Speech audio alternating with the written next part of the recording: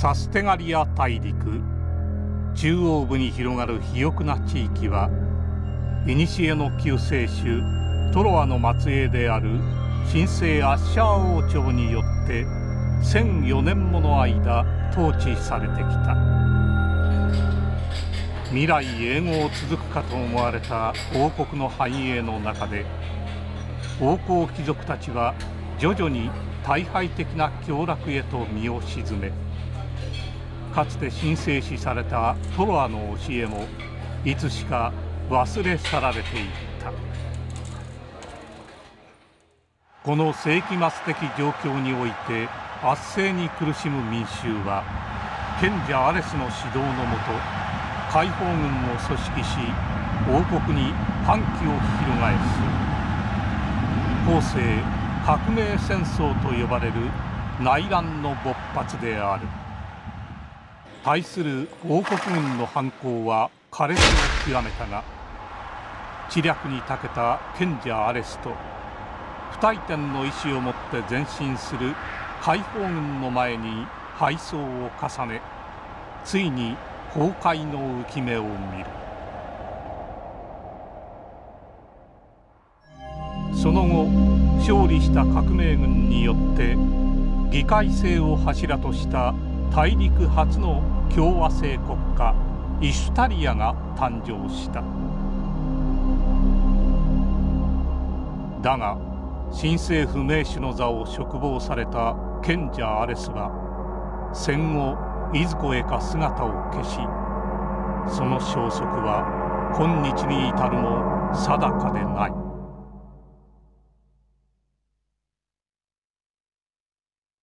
そして15年後新たな動乱の影がイシュタリアを包み込もうとしていた。